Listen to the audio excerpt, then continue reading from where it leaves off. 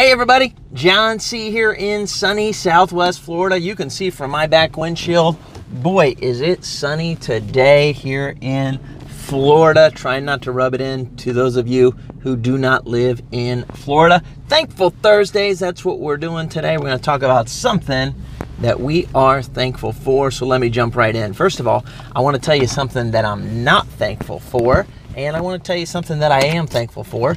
Let me start with something that I'm not thankful for. I'm not thankful when I sell somebody's house and I never get to see them again. Because sometimes when I sell somebody's house here in Florida, they move out of state. Crazy as that sounds, some do. I'm thankful for Hugh and Sharon Miller closing on their house today. Pumped, been a great journey helping them, but I don't know if I'll see them again. Actually, they're clients that I've never even met. They own this investment property here in Naples.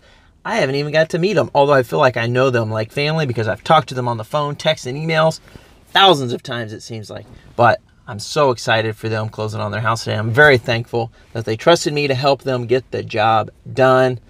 What are you thankful for today? It's Thursday. Post something below. Let me know what you're thankful for. Hope you have an awesome Thursday and a terrific weekend coming up. John See, sunny, Southwest Florida.